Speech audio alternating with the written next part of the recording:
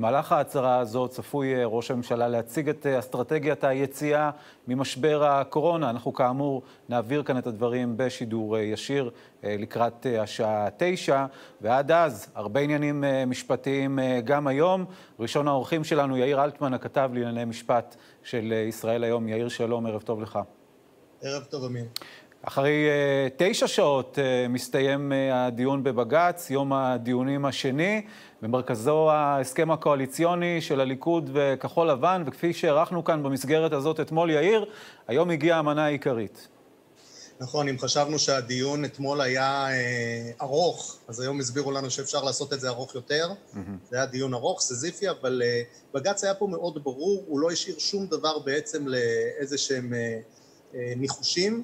אה, בעצם אה, אה, הנשיאה חיות הסבירה כבר מתחילת הדיון שהם לא הולכים, והשופטים גם חזרו על זה כמה פעמים, כל אחד בדרכו, לא הולכים לדון בכל מה שקשור לחקיקה שמייצרת את ההסכם הזה.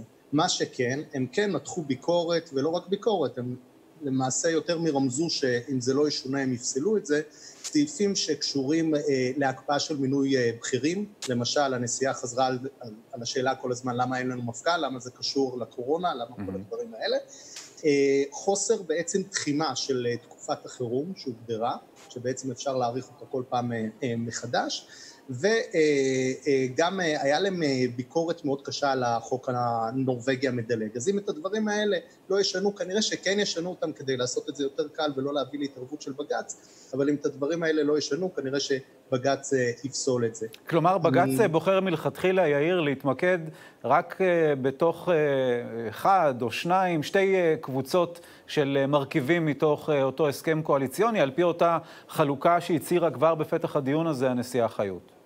נכון, והוא בעצם מיישר קו עם היועץ המשפטי לממשלה בהרבה מאוד דברים, כי היועץ המשפטי לממשלה גם אמר את זה בתגובה שלו, הנציג שלו אה, אה, חזר על הדברים האלה בדיון, mm-hmm. שהם אה, מתנגדים לרוב הדברים שבעצם בבסיס של העתירות. הם חושבים שזה מוקדם מדי, השופט מזוז וגם השופטים האחרים וגם אסתר חזרו על זה שבית המשפט לא מתערב בהליך חקיקה כשהוא מתרחש, אלא רק בדיעבד. זאת אומרת, כשהוא מסתיים, כשיש את כל הדיונים בהסתייגויות, הרבה פעמים משנים את החוקים, או נגיד את זה אה, ככה, תמיד משנים את החוקים, כן. עד שהם אה, בסופו של דבר נכנסים לספר הבוחר, אז אה, לספר החוקים, אז ברגע שהדבר הזה יעבור, אז יעשו על זה ביקורת בדיעבד, ולא תוך כדי.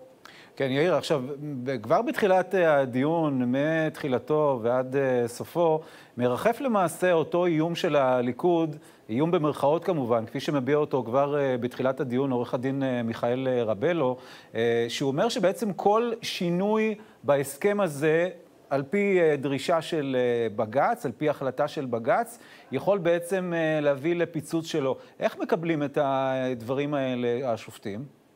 תראה, אני חייב להגיד שהתשובות של הנציג של נתניהו, עורך הדין מיכאל רבליו, שיש לי אגב הערכה מאוד גדולה אליו באופן אישי, היו די חלשות, זאת אומרת, אה, הוא לא הצליח להסביר לשופטים ששאלו אותו שוב ושוב מדוע זה קריטי כל כך שיהיה אה, עיכוב של למשל חקיקה שלא קשורה לקורונה, רוצים mm. לעשות עיכוב של כל חקיקה ושל כל מינוי בכירים, הוא כן אמר, הוא דיבר על מה שאתה אמרת שהדבר הזה יכול אה, להביא לפיצוץ של, של ההסכם והוא גם דיבר על זה שהדבר הכי גרוע שיכול לקרות לנו במצב הזה שהחירומי הוא להגיע לבחירות רביעיות. אה, הוא כן אה, אה, ניסה להסביר שבעצם המינוי של, ההקפאה של המינוי של הבכירים וגם הקפאת החקיקה זה כדי לא להגיע לאי הסכמות וצריך לנצל את המצב, כן, את המצב החירומי הזה להסכמה כמה שיותר רחבה, זה לא הניח את דעתם של השופטים, לא ראיתי שזה שינה כהוא זה והתשובות שלו במובן הזה, בנושא הזה, היו יחסית חלשות. טוב, ההחלטות של אה, בג"ץ צפויות אה, למעשה עד אה, יום חמישי בלילה, או נדרשות לפחות למועד הזה. כן, אני חושב שאפילו, תראה, זה הימור קצת, כן? אבל אני חושב mm. שאנחנו נראה את זה אפילו לפני זה, הנשיאה חיות, הצדדים די מהר הבינו, אני מדבר על המשיבים, כן? לא על העותרים, שגם את העותרים השופטים פסלו בהרבה מאוד נקודות, אבל המשיבים מהר מאוד הבינו שאם לא יעשו שינויים בנקודות האלה שהיה ביקורת מאוד חריפה, כן, מה שציינתי כבר, חוק הנורבגי, הקפאת החקיקה וכל הדברים האלה, בג"ץ יעשה את השינויים האלה, זאת אומרת בג"ץ יפסול אותם, ולכן הייתה הסכמה בין המשיבים. אה, מה שאסתר חיות אמרה, שהיא לא רוצה שההסכמה הזאת תישאר בעלמא, בעל פה, היא רוצה שזה יבוא לידי תוקף, זאת אומרת שיכתבו את זה בהסכם, ונתנה לזה, הקציבה לזה למעשה 24 שעות. כן. אז אם אנחנו לא נראה בעצם ב-24 שעות הקרובות אה, שינוי, אני מניח שאנחנו נראה החלטה מאוד מהר אחרי זה, וכמובן יש את הדדליין של יום חמישי בחצי. טוב, זה מדהים, כי יש כאן בעצם, אה, לפי מה שאתה אומר, איזושהי ציפייה מצד אה, בית המשפט העליון לשינויים בתוך המערכת הפוליטית, תוך כדי הליך משפטי שמתנהל, שזה דבר שצריך לתת עליו את הדעת, אבל על זה כמובן נדבר בהמשך גם עם הפרשנים הפוליטיים. אבל ברשותך רק לסכם, כן. שבסך הכל בג"ץ... אה, אם היה נראה לעותרים בהתחלה שבג"ץ הולך איתם לאורך כל הדרך, היום זה נראה אחרת. זאת אומרת, מרבית הדברים, גם בג"ץ וגם היועמ"ש, כן. לא מתכוונים, לי, עושה רושם שהם לא מתכוונים אה, אה, לפסול את ההסכם אה, לחלוטין, וכמובן, זה מה שאנחנו יודעים גם מהדיון של אתמול, כנראה גם לא יפסלו את אה, אה, בנימין נתניהו, ככה הדברים. יאיר אלטמן, הכתב לענייני משפט של ישראל היום, תודה רבה לך, יאיר. תודה רבה. עורך הדין שמחה רוטמן, שלום, ערב טוב לך. ערב טוב. היועץ המשפטי של התנועה למשילות ודמוקרטיה. לפני שנדבר על עוד כמה אה, מרכיבים מעניינים בדיון הזה היום, אני רוצה לשאול אותך על האירוע, כי מדברים על ההצגה אה, הכי טובה בעיר. אז כמה ההצגה הזאת אה, שאנחנו האזרחים רואים מהבית, היא באמת אותנטית כשהמצלמות נמצאות באולם בית המשפט העליון? תראה, אני חייב לומר ל... שבחם של כל השחקנים שהיו בחדר, כולם, כולם, כולם כולל כולם, העותרים mm. המשיבים והשופטים, פחות או יותר כך זה נראה הדיון. זאת אומרת, לא היה יותר מדי הצגות למצלמה. אה, צריך לזכור שבדרך כלל דיון ב-11 שופטים הוא אירוע שבכל מקרה הוא לעיני אה, כתבים וקהל באולם, זאת אומרת, המשחק כביכול הוא אותו משחק. אה, המצלמות לא נראה לי השפיעו בצורה משמעותית על אופי הדיון והטיעון. יש שדורשים את זאת לשבח ויש שדורשים את זאת לגנאי, זאת אומרת, mm. הרבה מאוד מהדברים שנחשפנו אליהם בדיון, ההתייחסות אה, אולי בעייתית קצת מצד השופטים אל הטוענים וכדומה, ביקורות שנשמעו במהלך היום ברשתות החברתיות ובכלי התקשורת. אה, כולל רגעים, אה, כולל רגעים אה, משעשעים, אפרופו ענייני הריאליטי וחתונה מאוחרת, והבקיאות של הנשיאה חיות בריאליטי. אין ספק שכדאי, אני ממליץ לכל מי שמגיע לבית המשפט העליון להשלים את החוסרים בזירת הריאליטי. טוב. אבל, אבל זה, זה לגבי הדבר עצמו. אני רוצה להתייחס קצת למה שאמר יאיר. מי שמצפה שהוא ידע מה התשובה ומה ההחלטה מהדיון, עלול להיות מופתע. תמיד אפשר להרגיש קצת לאן נושבת הרוח, והצפייה בדיון בהחלט יכולה לעזור, אבל צריך לזכור שדיון הוא נקודת זמן מאוד מאוד קטנה בתוך ההליך. הגיש היועץ המשפטי לממשלה, כולנו ראינו, הוא טען הכי פחות זמן אולי מכל כן. הטוענים, נציג היועץ, ענר הלמן, ראש מחלקת בג"צים, הם הגישו לבית המשפט 142 עמודים כתגובה, זאת אומרת, הדיון נועד לחדד נקודות מסוימות. כלומר, העבודה האמיתית היא כתיבת uh, פסק הדין והנימוקים כמובן. העבודה האמיתית היא כתיבת הטיעונים של הצדדים, אוקיי. ופסק הדין יינתן כנראה בהנמקה קצרה, גם הנשיאה אמרה את זה בסוף הדיון, ואולי בעיקרי נימוקים, את הנימוקים האמיתיים אנחנו נקבל אולי אפילו עוד כמה חודשים לפעמים, עוד כמה שבועות. אנחנו מכירים את זה בטח בהרכב של 11 שופטים, שכל אחד ירצה להתייחס בהרחבה לדבריו של חברו, אנחנו נקבל פה ספר בסופו של דבר, אבל זה, זה לא צריך לחשוב שאנחנו יכולים לצפות מה תהיה התוצאות. אוקיי, okay, אבל, אבל אני רוצה בכל זאת להתעכב על עוד, עוד אה, אירוע אה, משפטי מאוד אה, מהותי היום, וזה הדרישה מצד חלק מהמשיבים, במקרה הזה זה עורך הדין מיכאל רבלו, לקבל מה?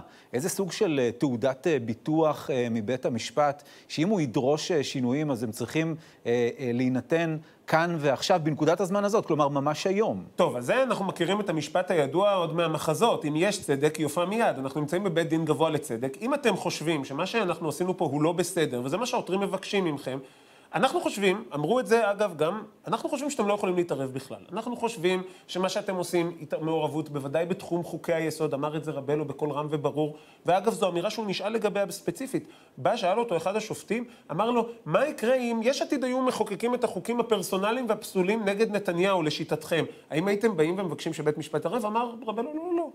זה היה פסול, זה היה פגום, אבל אנחנו היינו מחפשים את המענה אצל הבוחר. אמירה שצריך מאוד מאוד לכבד ולהעריך. Mm-hmm. אני לא חושב שאתם צריכים להתעסק בחוקי יסוד. זה אמר רבלו, אמר את זה, אמרו את זה, אמר את זה.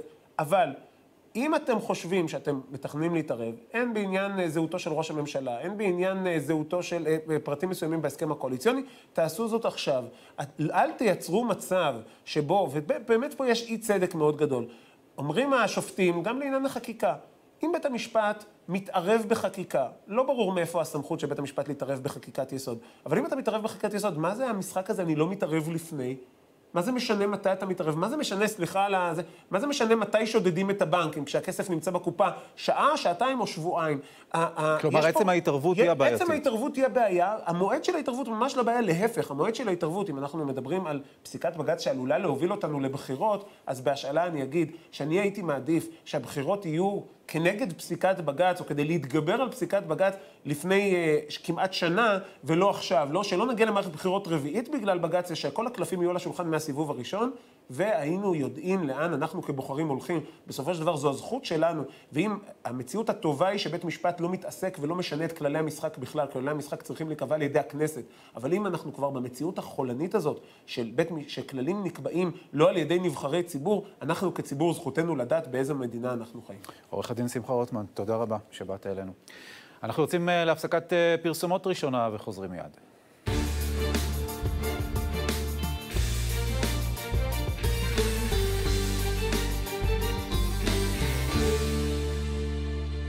חזרנו ואנחנו עם אה, רן רזניק, הפרשן הבכיר לענייני בריאות של אה, ישראל היום. רן, שלום, ערב טוב לך. אהלן, ערב טוב, אמיר, אני מקווה ששומעים אותי טוב. שומעים כן. אותך מצוין. רן, אה, בוא נתחיל עם תחלואי הקורונה, הנתונים שמפרסם היום, נתוני התחלואה שמפרסם היום משרד הבריאות בשעות הצהריים. המשך אותה מגמה, צמצום גם במספר החולים, גם במספר המונשמים.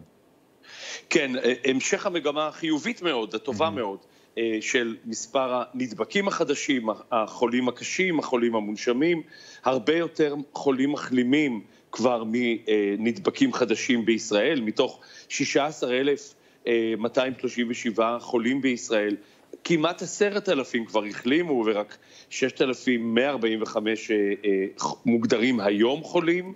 אה, ועוד פחות ופחות חולים קשים ומונשמים. הם אלה, בואו נזכיר לכולם, החולים שהכי מדאיגים את מערכת הבריאות בישראל, ובשבילם וסביבם כמעט כל המשבר אה, כולו. כן, ודווקא עוד... הנתונים האלה, ערן, שהם uh, תוצאה של המדיניות uh, שהוביל כן. מוביל כאן uh, משרד הבריאות בשבועות האחרונים, מביאים ללחץ מאוד גדול על uh, משרד הבריאות להביא לשורה של uh, הקלות מאוד uh, דרמטיות, כאן ועכשיו, כן. כלומר לא בטווח הזמן של uh, עוד uh, שבועיים, אלא ממש פתיחה של הקניונים כבר בסוף השבוע. נכון, גם לחץ מאוד כבד על... Uh, על משרד הבריאות, אבל בעצם על הממשלה, על ראש הממשלה, וגם, וגם כשהציבור ומשרדי הממשלה רואים את הנתונים המצוינים האלה, הם, הם אה, אחד, אה, ברשותך, שוכחים שהנתונים הטובים האלה של ישראל, באמת, בכל קנה מידה בינלאומי, הם תוצאה של הסגר וההגבלות החריפות, הקשות, המתמשכות שהיו כאן, mm-hmm. והם רוצים לצאת מהר. משרד הבריאות חושב שמשרדי הממשלה, חלקם רוצים לצאת מהר מדי. למשל, הוויכוח הבא, אה, בעצם הוויכוח הנוכחי הוא סביב ל"ג בעומר. האם אה, אה, כמו שמשרד הבריאות דורש והמל"ל, שיהיה סגר בערב ל"ג בעומר בגלל החשש מהמדורות ואירועים חברתיים סביב ל"ג בעומר בחוץ, נכון? מחוץ לבית, בעוד ששרי הממשלה או חלק מהם דורשים שלא יהיה סגר. כנ"ל לגבי פתיחת, פתיחת קניונים, פתיחת המסחר, פתיחת אה, אה, חופי הים, בריכות שחייה, אוטוטו, כן. אה, בתי הספר, שאר הכיתות, ויכוחים קשים בין משרדי הבריאות והאוצר. אה, משרד האוצר אה, אומר, שר האוצר אומר, משרד הבריאות השתלט עלינו, משה בר סימנטוב השתלט עלינו אם תרצה, וזה צריך להיות מהר מדי. משרד הבריאות מזהיר, זה מהר מדי ועלול להביא מחדש את התפרצות ה... מגפה. טוב, והרקע כל זה, כאמור, אנחנו ממתינים uh, להצהרה שצפוי uh, למסור ראש הממשלה בשעה כן. רבע לתשע. אחרי שכבר את... הרבה זמן הוא לא, הוא לא מסר הצהרה כזו, כן. נכון, לציבור. ואז גם uh, למסור uh, ולהציג את אסטרטגיית היציאה מהקורונה, אז בהחלט יהיה מעניין לשמוע את הדברים uh, על רקע uh, הדברים עליהם uh, דיברנו עכשיו. רן, אני רוצה לדבר איתך על uh, עוד עניין שאתה מפרסם היום uh, בישראל היום. מנהלת וולפסון מונעת חקירת הטיפול בחולי הקורונה, על מה מדובר?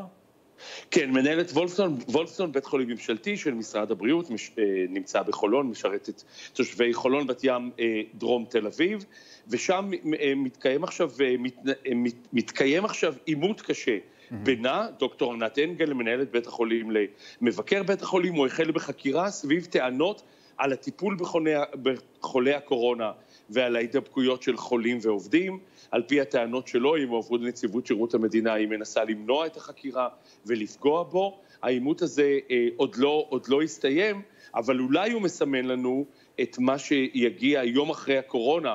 אני לא יודע מה זה יום אחרי הקורונה, כי היא עוד איתנו להרבה זמן, אבל כן. כשנחזור יותר לשגרה, יתחילו גם העימותים סביב החקירות הפנימיות בבתי החולים. ובמשרד הבריאות. נגיד רק מילה, מהנהלת וולפסון דוחים את הטענות אה, של מבקר, ה, של מבקר בית החולים, והעימות הזה עוד ימשיך. אה, אני משוכנע. אבל אתה אומר אה, סנונית ראשונה, כנראה לחקירות שאולי אה, נראה, בשלב הזה כן. לפחות על ידי מבקרים פנימיים כמובן, אבל חקירות כן. שכנראה כן. גם נראה במוסדות רפואיים אחרים. זה אפרופו כן. חוסר היכולת, צריך לומר גם את זה בכנות רבה, חוסר היכולת של אותם מנהלי מוסדות להיערך בכלל לקראת הדבר הזה שאנחנו רואים, גם בעולם לא נערכו לו. נכון, אבל, אבל השאלה היא לא לגבי מספר מכונות ההנשמה, mm-hmm. בשאלות המדיניות, של המדיניות הכללית, הממלכתית, וכמו שאמרת, גם, גם מערכות בריאות מהטובות בעולם, נגיד, אה, לא, לא הצליחו או חושבות שלא להם מספיק מכונות הנשמה, אלא שאלות אחרות, למשל, די אם נציג את השאלה הזאת, סביב הדבקה וזיהומים. יש טענות קשות וממצאים קשים בישראל כבר הרבה מאוד שנים, הרבה לפני הקורונה, ובואו ניזכר, במשפט, לפני חודש פורסם דוח מבקר המדינה על, על אה, חוסר ההיערכות המספקת של ישראל להתפרצות מגפות, גם בלי קשר, או עוד לפני השאלה, על אה, מכונות ההנשמה. רן רזניק, הפרשן הבכיר לענייני בריאות של ישראל היום. רן, תודה רבה לך. תודה, ערב טוב. ועכשיו אנחנו עם אבי גרינצייג, הפרשן הפוליטי של קו עיתונות. אבי, שלום, ערב טוב לך. מבורך. נדבר פחות על פוליטיקה, יותר על אה, קורונה במגזר אה, החרדי. החזרה המדורגת אה, למוסדות החינוך החרדיים, איפה זה עומד היום? התחילו, קודם כל, בוא, יש, אתה יודע, בתחילת הסיפור של הקורונה, אז כולם תקפו את המגזר החרדי, שלא הייתה הפנמה בהתחלה, וזה, פה אנחנו רואים איזה סוג של תשובת המשקל. דווקא לא ממהרים לחזור כל כך מהר, mm-hmm. ובודקים כל דבר בשבע עיניים. אה, היה נושא אחד אה, שונה מהחינוך הממלכתי. הרשתות החינוך החרדיות ביקשו לא להחזיר את כיתות א' עד ג', אלא קודם דווקא להחזיר את כיתות ו' עד ח'. Mm. הם אומרים, בכל מקרה, זה מבחינת המשקל במשפחה החרדית זה לא כל כך משנה, ומבחינת מה הילד לומד, אז החומר שהוא מקבל בכיתות הגבוהות יותר חשוב, יותר קריטי. אה, ההחזרה תהיה הדרגתית כמו במגזר הכללי. הנושא כמובן זה הישיבות. אז בשבועיים האחרונים היו כל מיני, גיבשו כל מיני מתווים, קראו לזה, איזה מתווה שזכה לכל מיני כינויים, מתווה הקפסולות, אה, של לגבש קבוצות סגורות של בחורים שיהיו מבודדים. לא נראה כבר שהשתמשו בזה, כי אנחנו רואים באמת אה, גידול, אה, קיטון אקספוננציאלי, זה כן. נקרא, של מספר החולים. אז לא נראה שנצטרך להגיע לזה הפעם, אבל כן, טוב, אתה יודע, להיות ערוכים, אם יהיה גל שני או משהו כזה חלילה, אז כן, שהישיבות ידעו איך להתמודד עם זה, אולי לחלק את הבחורים, לבודד אותם בקבוצות. זה, יש לזה אישור עקרוני גם ברמה הממשלתית, עוד לא יצא לפועל בינתיים. ויש אה, גם אה, הבדלים אה, שאתה יודע לספר עליהם בין החזרה של הבנים לבין החזרה של הבנות. הבנות זה במישור הארצי, זה, כן. הרי החינוך החרדי בבנות הוא, הוא חופף לגמרי למה שנעשה בחינוך הארצי הרגיל. אוקיי. החינוך לבנים מחולק בצורה קצת שונה. טוב, אבי, אני יכול להניח אה, שהציבור החרדי, אולי גם הציבור הדתי, אה, יכול להסכים מה שאני הולך לומר אה, מיד, מתבונן על העובדה שבעוד חלקים גדולים במשק חוזרים לעבודה, בתי הכנסת עדיין סגורים. נכון, ואתה יודע, אם דיברו בהתחלה על הלחץ שהיה כל הזמן של ליצמן ודרעי וגפני לפתוח מקוואות או בתי כנסת או כל זה, עכשיו זה הופך להיות לסוג של תרעומת, כי אוקיי, אז שמרנו כל הזמן והבנו שאין ברירה וסגרנו, וגדולי ישראל יצאו בהוראות, אה, ואנשים באמת שקשה להם, שמתפללים, רגילים להתפלל כל יום במניין, התפללו במרפסת וברחוב. ואוקיי, הגיע הזמן, אם חוזרים, אנשים חוזרים למקומות העבודה, בכללים כמובן אה, של שתי מטר ומסכות והכול, תעשו את זה גם בבתי כנסת. כלומר, הכאב של, ה, של האנשים והחלק הזה בחיים שלהם, כן, שהוא האמונה שממלאת כל כך הרבה אה, אה, דברים בחייו של, של אדם אה, שומר מצוות, לא יכול להתקיים כאן, ואתה אומר, אל מול, אל מול התחושה הזו שחלקים אחרים במשק חוזרים... שהנה מכוני כושר, חוזרים, אתה רואה שפותחים, אז, אז, אז אם מכון לא... כושר לא שונה מבית כנסת לצורך העניין, או קניון, מלשבת ללמוד בבית מדרש. אני מניח, תראה, אני לא יודע, אולי באסטרטגיית היציאה שראש הממשלה יציג ערב, אז באמת הוא יתייחס גם לזה, יכול להיות שנראה באמת צעדים גם בזה, אבל אני יודע שכן יש איזה קצת תרומת, כי מצפים לפחות להשוואה, אתה יודע, לא, לא להוזיל את, אה, את בתי הכנסת יותר מאשר הדברים האלו. אבי גרינצייג, פרשן פוליטיקה ועיתונות, תודה רבה שבאת אלינו. אנחנו אה, יוצאים אה, לעוד אה, הפסקה קצרה, מזכירים לכם בשעה רבע לתשע, הצהרה של ראש הממשלה בנימין נתניהו על ההקלות החדשות, אסטרטגיית היציאה מהסגר, נעביר את הדברים כאן בשידור ישיר, פרסומות ואנחנו ממשיכים.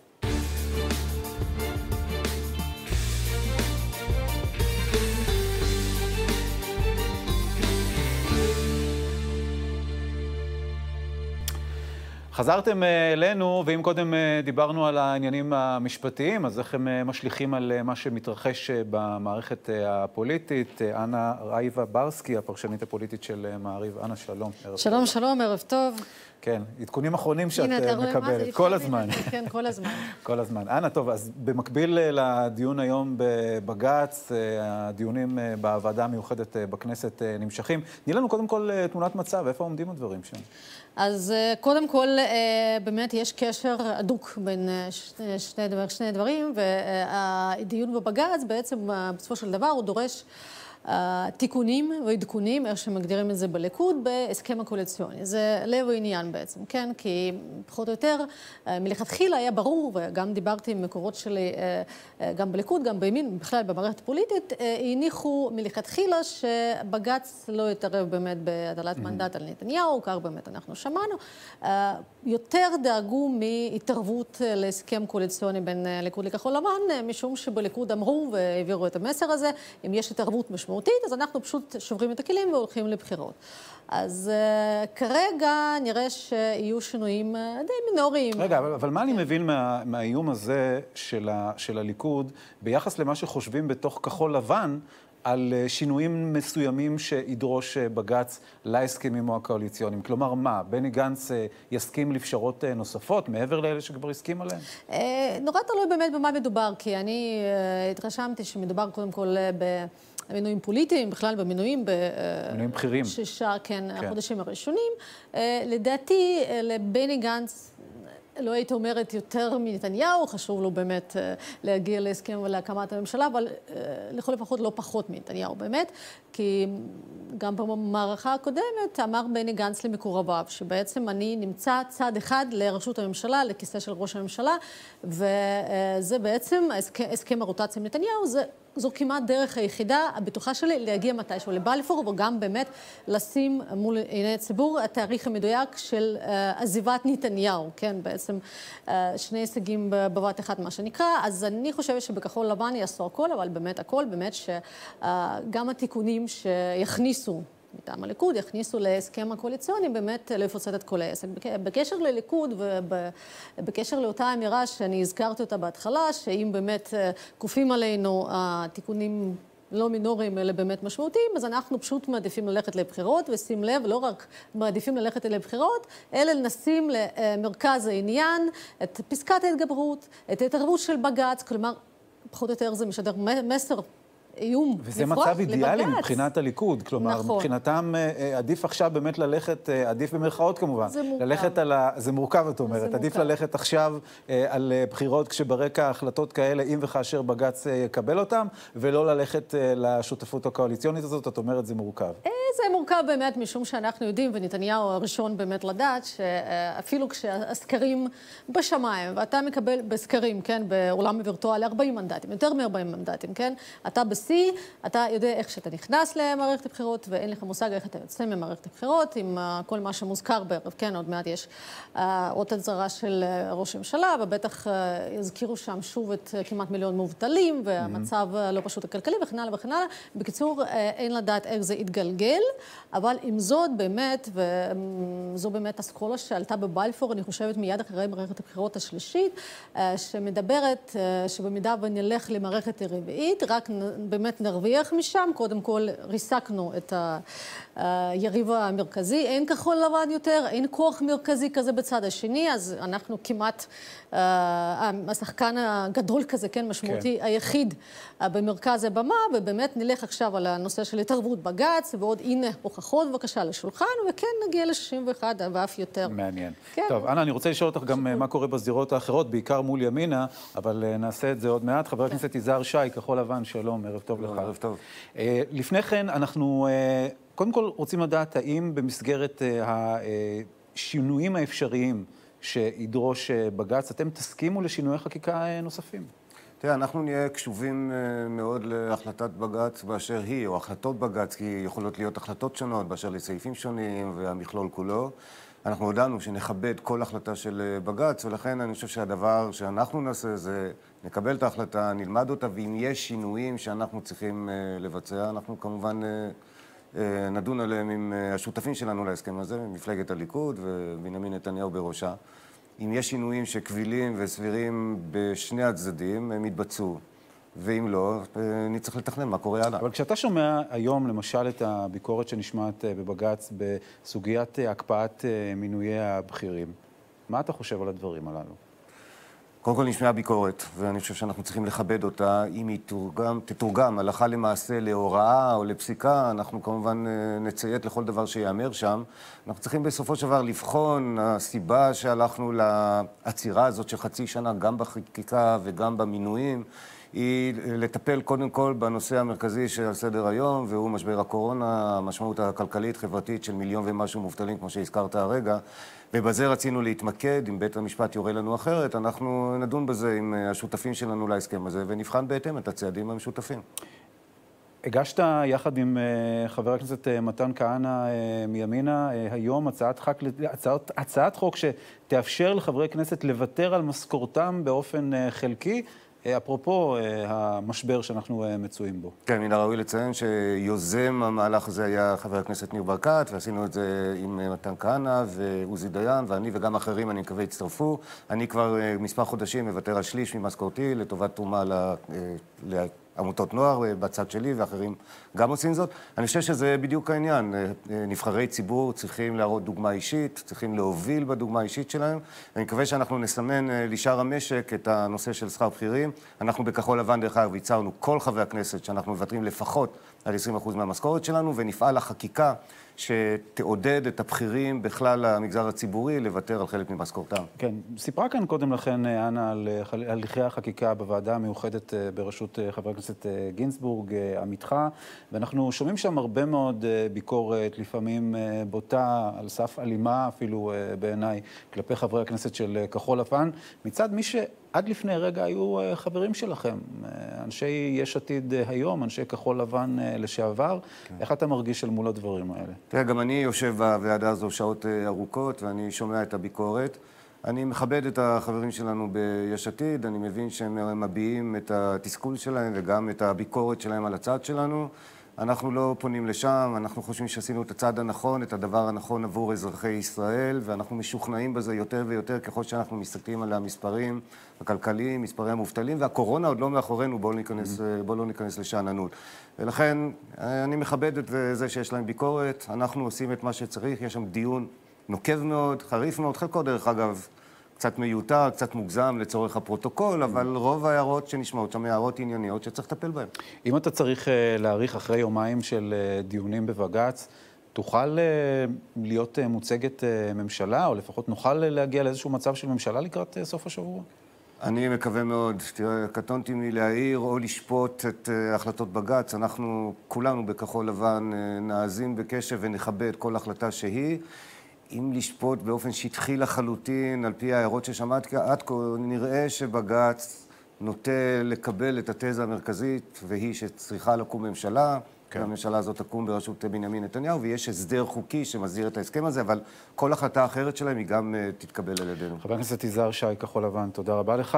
אנא, נסכם uh, איתך, איפה עומדים הדברים מול uh, ימינה? Uh, זה שום דבר מורכב, כי uh, מבחינת ימינה כל, שום דבר לא זז. אה, הועברה להם אה, הצעה שלא בדיוק מוצא חן בעיניהם, אה, תיק החינוך, ייתכן, למרות שנפתלי בנט, מסביבתו של נפתלי בנט, יותר מ... מעבירים יותר מרמז שהוא מעוניין בתיק הבריאות, אבל ככל הנראה זה הולך לכחול לבן, וגם עלה שם שם של מועמד המקצועי לתפקיד, אז ההצעה מטעם הליכוד לימינה זה שר החינוך, שר ירושלים ומורשת. כי אומרים מי יותר מימין, הוא באמת הבית היהודי הקלאסי, יטפל במורשת וירושלים, וגם כן. התפקיד של סגן שר במשרד ראש הממשלה, שזה חשוב באמת להבין, יש שם המון בשר, חטיבת להתיישבות, אה, ובכל זאת אה, זה לא מספיק. כדי שימינה ייכנס פנימה, כי יש הסכם פנימי ששני צדדים מכבדים בין אה, נפתלי בנט לאיילת שקד, דובר על זה רבות, ולדעתי עדיין... הרבה צדדים ומרכיבים שצריך לרצות שם בפנים. יש מקום לאופטימיות, כן. באמת, אם בליכוד ישכילו באמת להמציא איזה תפקיד שר במקום סגן שר, לדעתי אוקיי. אין שם שום ויכוח אידיאולוגי, ועדיף שימינה תהיה בפנים, ולא...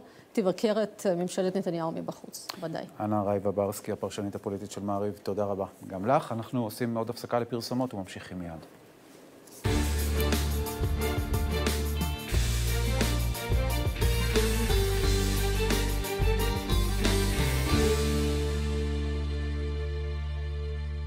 חזרתם אלינו ואנחנו עם אה, חבר הכנסת אה, אופיר כץ מהליכוד. שלום, ערב טוב לך.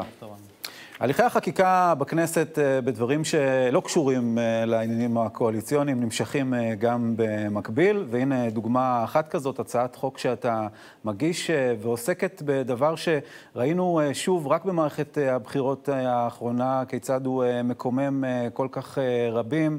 הנוכחות של אה, כמה חברי כנסת שמהללים אה, טרור בבית המחוקקים, גם אחרי כל ההליכים בוועדת הבחירות, בבג"ץ, עדיין נותרו שם, ואתה אומר צריך לטפל בזה גם באמצעות חוק. נכון מאוד, אמיר. אה, זה לא רק במערכת הבחירות האחרונה ראינו את זה, אנחנו רואים את זה כבר שנים ארוכות לצערי, שתומכי טרור נפסלים על ידי ועדת הבחירות, ומשום מה מגיעים לבית המשפט העליון, ושם מכשירים אותם פעם אחר פעם, את אנשים ש, שתמכו במחבלים הכי שפלים, במרגלים, וכאלה גם שבסוף, אתה יודע, היו צריכים לברוח מהמדינה כי הם, הם בעצמם היו מרגלים. הדוגמה האחרונה ש, ש, שהזכרת זה, מדובר על היבה יזבק כמובן, שאני זה שיזמתי את בקשת הפסילה שלה. צריך לשים לב, בקשת הפסילה עברה בוועדת הבחירות ברוב עצום, שמייצג כמעט את כל אזרחי מדינת ישראל. אה, ולצערי, שוב, כשהגענו לבית המשפט העליון, אה, הוא מצא את הפרשנויות ואת דרך המילוט, איך כן לאפשר גם לה להיות אה, חברת כנסת.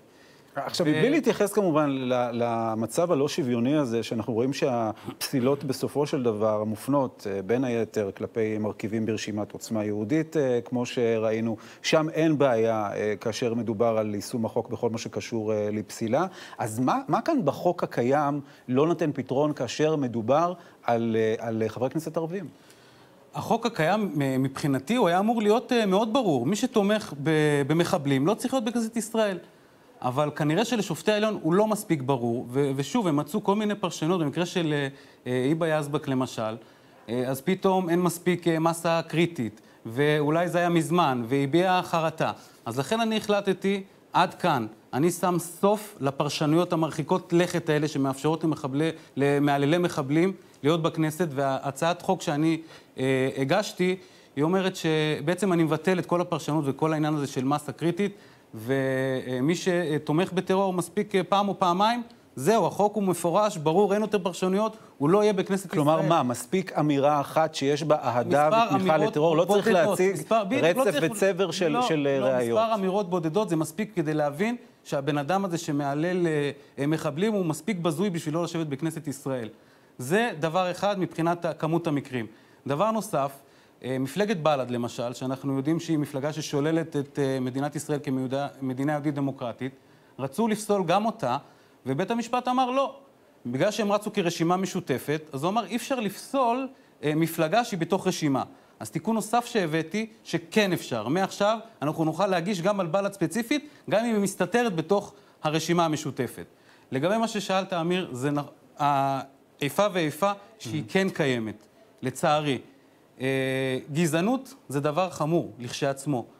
אבל אני לא חושב שהסתה לטרור ותמיכה במחבל שפל כמו סמיר קונטר, שרוצץ את גולגולתה של ילדה בת ארבע, זה פחות חמור מגזענות. על זה, על, זה, על זה אין ויכוח, אבל השאלה היא איך אתה הולך למהלך כזה, גם מבלי להיגרר לתוך, לתוך מצב שהמרחב של בג"ץ באשר לפסילה של רשימות וחברי כנסת, גם על בסיס של אירוע אחד, כפי שציינת קודם לכן, לא הולך לפגוע גם בחברי כנסת אחרים. מספר... כי אולי אותו הדין אז יהיה כלפי כולם. מספר אירועים בודדים זה מספיק, וכן, אם בן אדם תומך ברצח או במעשה טרור כנגד אנשים חפים מפשע, מקומו לא בכנסת ישראל, ולא משנה מאיזה מקום okay. של אוקיי. המפה הפוליטית הוא מגיע. בן אדם כזה לא יכול להיות בכנסת ישראל. טוב, ננצל את העובדה שאתה כאן אה, מתבונן כמו רבים אה, מאזרחי ישראל על מה שהוגדר כהצגה הכי טובה בעיר, יומיים בבג"ץ, מה אתה חושב על מה שקורה שם? אמ, תראה, מדינת ישראל כמדינה דמוקרטית, חשוב שתהיה לה רשות שופטת עצמאית וחזקה. יחד עם זאת, אה, בג"ץ לא יכול להפוך את עצמו לשחקן פוליטי, זה פשוט אה, לא, לא עובד ככה. ואנחנו רואים אה, גם בשנים האחרונות, וגם, כמו שאתה אומר, ביומיים האחרונים, ההתנהלות שלו וה, וההחלטות שהוא מקבל, בעצם הן רומסות את אחד העקרונות, העקרונות החשובים של הדמוקרטיה, זה הפרדת הרשויות. אין פה באמת הפרדת רשויות. היומיים האחרונים, העתירות שהוגשו, היו שתיהן צריכות, כאילו, על שני, שני הנושאים אני מדבר, כי הוגשו כמה עתירות של כמה אה, גופים. אה, שני הנושאים האלה היו אמורים אה, להידחות על הסף, זה בכלל לא בסמכותו. אתה אומר גם בעניין הכשירות של נתניהו לכהן כראש ממשלה וגם על ההסכם הקואליציוני. מפורשת, ראש הממשלה יכול לכהן, החוק מתייחס להטלת הרכבת הממשלה, וגם במשא ומתן הקואליציוני. אני חבר בוועדת ה... בוועדה המיוחדת לחוק, אנחנו יושבים שם ימים ולילות בשביל... יש מצב של מדינת ישראל באמת במשבר מאוד מאוד מורכב. גם מבחינה פוליטית, שלוש מערכות בחירות, גם מבחינת משבר הקורונה. יש לנו אתגרים אה, בריאותיים, אתגרים כלכליים מאוד מאוד אה, אה, מורכבים. ושני הגושים בעצם לא, לא הגיעו ל-61, כל אחד היה רוצה, אבל מה לעשות, זה המציאות. וראש הממשלה נתניהו ויושב ראש הכנסת גנץ אה, קיבלו אחריות, אחריות לאומית באמת, כל אחד גם ויתר קצת, והחליטו ללכת על ממשלת אה, אה, אחדות אה, לאומית. הקריאה הראשונה של ההסכם הזה עבר ברוב של 72 חברי כנסת. זה ייצוג של למעלה משלושה מיליון מאזרחי מדינת ישראל.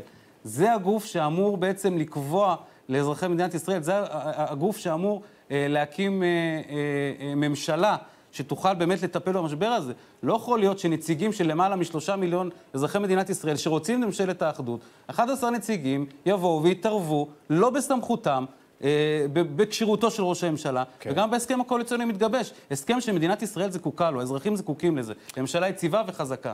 חבר הכנסת אופיר כץ, הליכוד, תודה רבה לך. תודה לך, ערב טוב. אנחנו עושים עכשיו אה, עוד הפסקה קצרה לפרסומות וממשיכים מיד.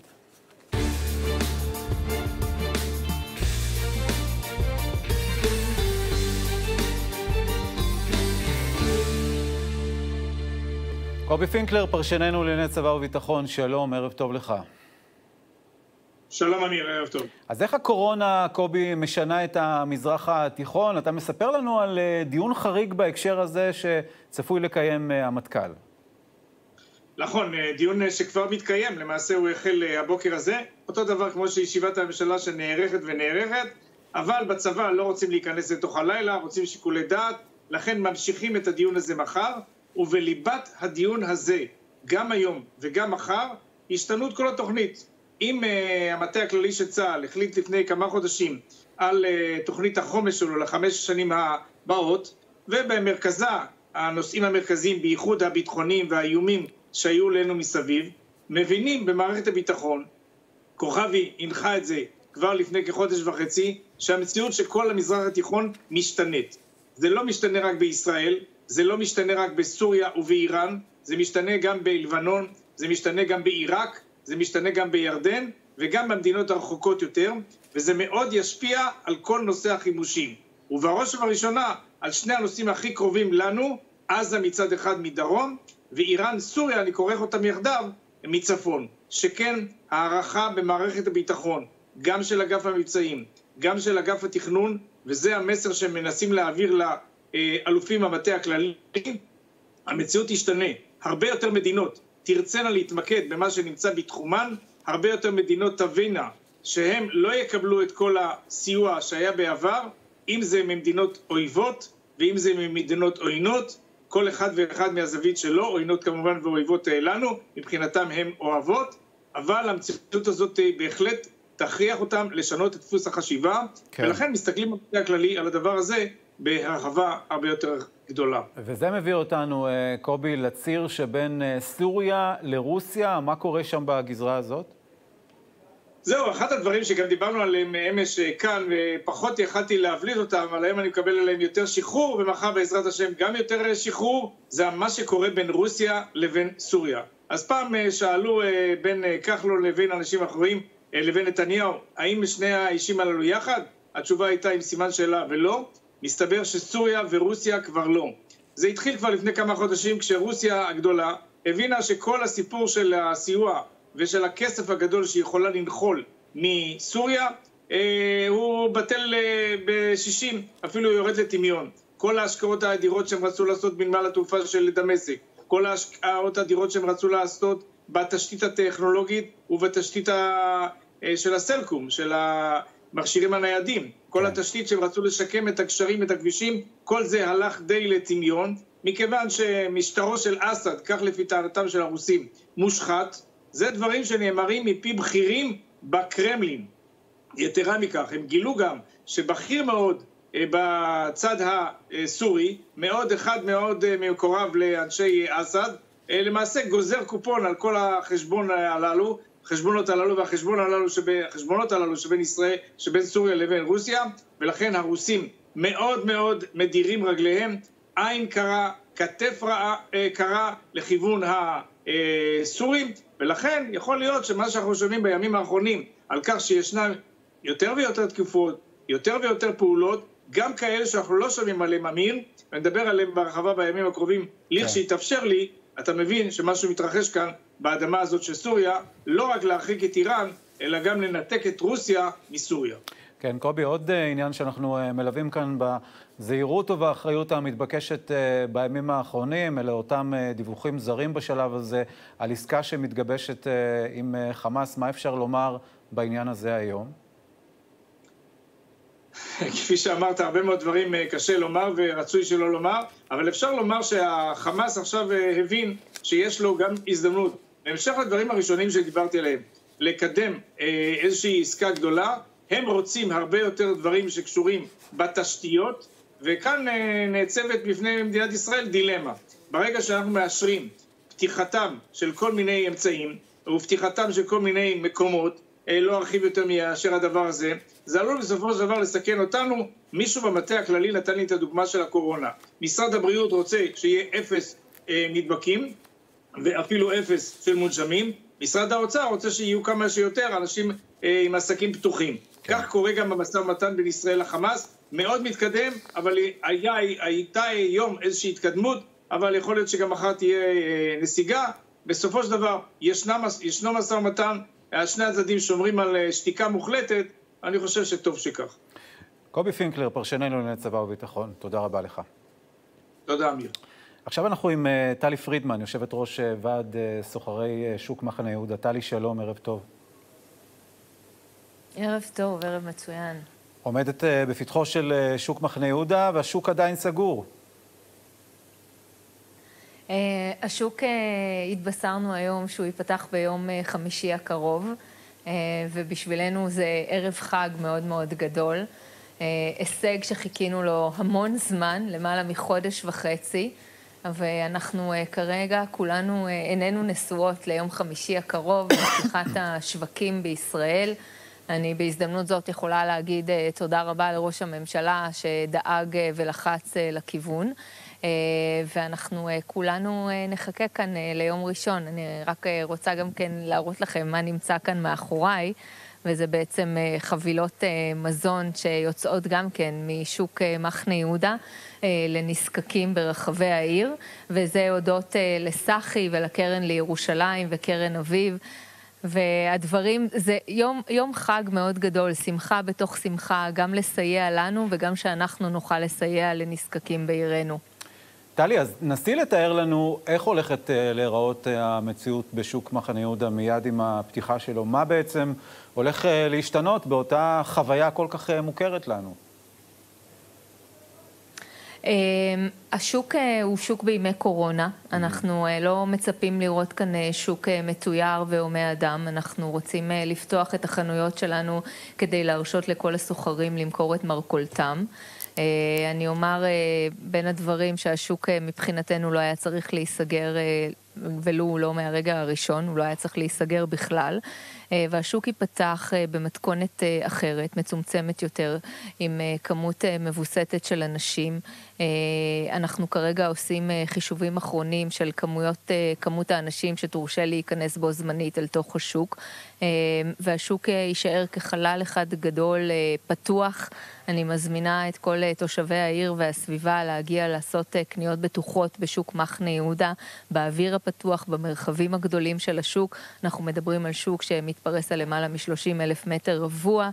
אה, ואנחנו אה, נאפשר זאת כמובן על פי הנחיות המל"ל, עם בדיקה של חום בכניסה, עם קאונטרים שימדדו את מספר האנשים שנכנסים ויוצאים מן השוק, אה, ואנחנו מאוד מאוד מתרגשים כאן. סחורה טובה תהיה גם בפתחו של השבוע החדש, טלי. סליחה? שאלתי אם סחורה טובה בשוק מחנה יהודה, כפי שיש כל הזמן, תהיה גם בפתחו של השבוע החדש. בוודאי, כן, אוקיי. בוודאי, בוודאי. אין אפשרות אחרת. הדוכנים ייראו כמו שאנחנו אוהבים לראות אותם, עמוסים, צבעוניים, ססגוניים. הריחות של השוק יחזרו אליו. טוב, הרבה אנשים מתגעגעים, אה, אנחנו יודעים. טלי פרידמן, יושבת ראש אה, ועד. אה, אנחנו... כן, בבקשה, טלי. תודה רבה. תודה. אה, לא, רק להגיד תודה רבה אה. לכל מי שעמל במלאכה, ולחבר'ה שנמצאים אוקיי. כאן מאחוריי, ולראש העיר שלנו שדאג ודחף. אז עכשיו אנחנו מודים לך ויוצאים להפסקת פרסומות. תודה רבה.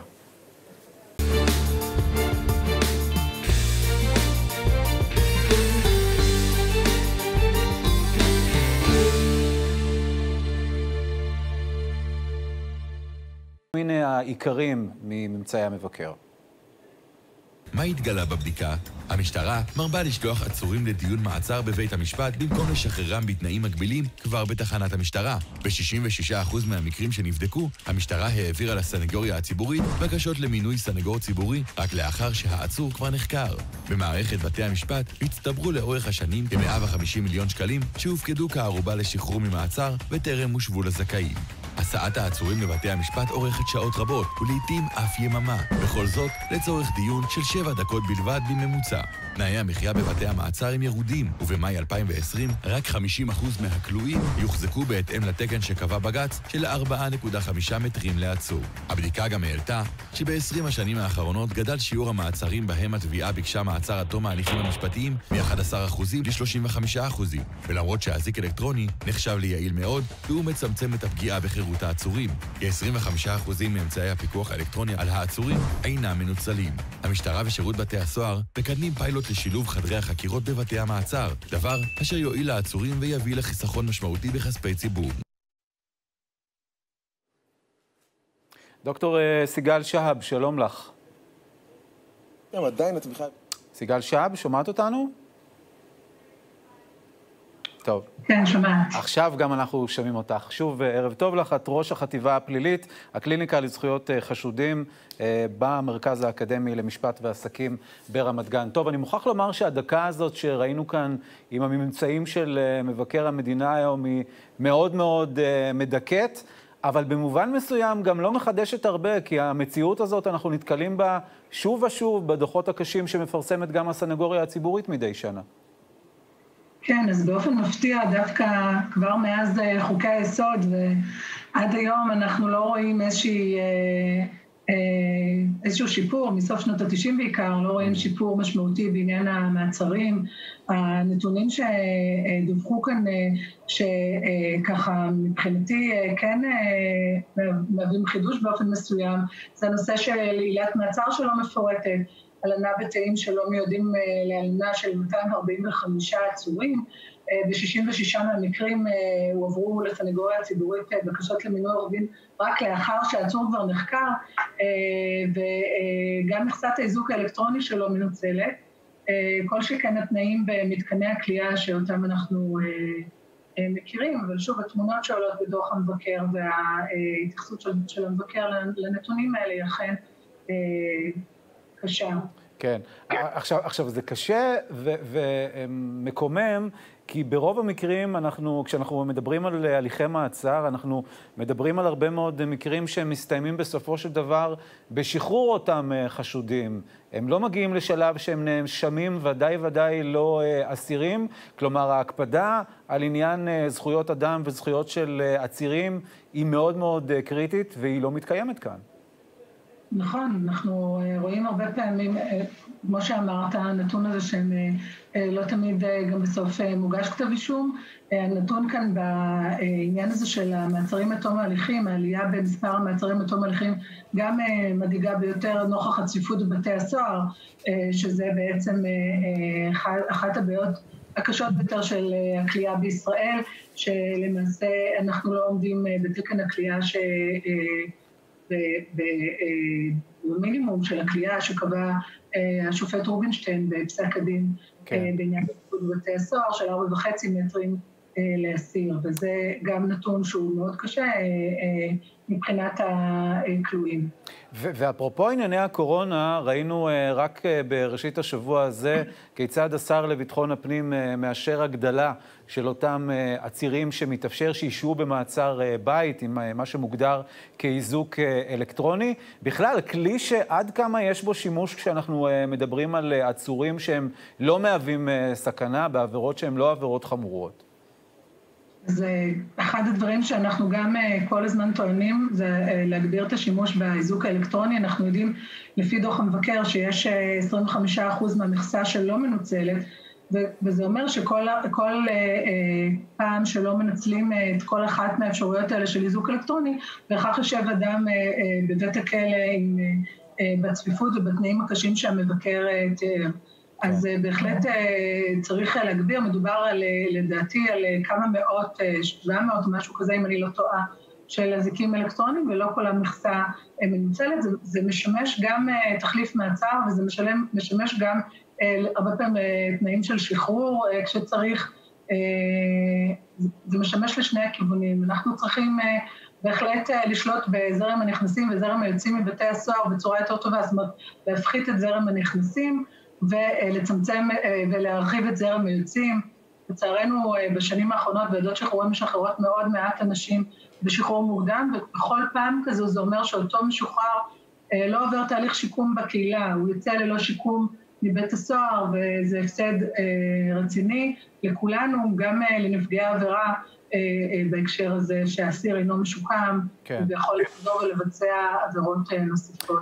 דוקטור שעב, אם אנחנו חוזרים לכל הממצאים הקשים של מבקר המדינה היום, שסיכמנו כבר שרובם ידועים, איפה בתי המשפט בציר הזה, בציר האחריות? הרי בסופו של דבר אנחנו מדברים על עצורים שמובאים בפני בית המשפט. רגע, לא שמעתי את השאלה. אני שואל, איפה בתי המשפט בציר הזה של האחריות על המציאות הזאת שאנחנו מדברים עליה? יש איזה נתק. אוקיי, אז אנחנו נעשה הפסקה לפרסומות, ונודה לך, דוקטור סיגל שהב, נסתפק בדברים האלה. תודה רבה. פרסומות ואנחנו ממשיכים.